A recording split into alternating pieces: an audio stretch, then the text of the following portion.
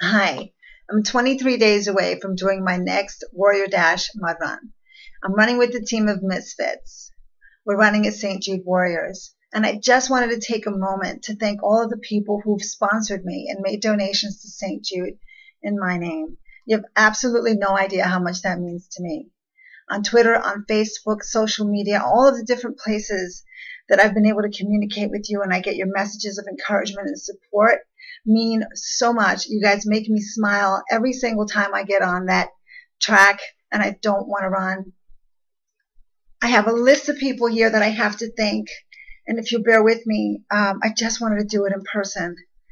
Peter C., thank you so much for supporting me three years in a row.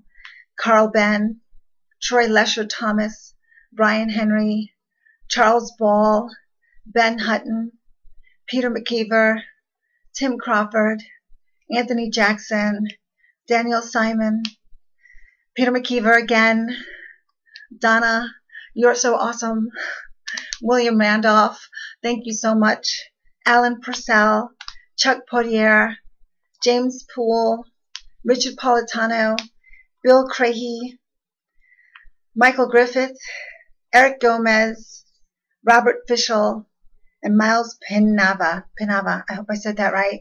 Forgive me if I uh, didn't pronounce your name properly. Um, and thank you so much for supporting me and my team.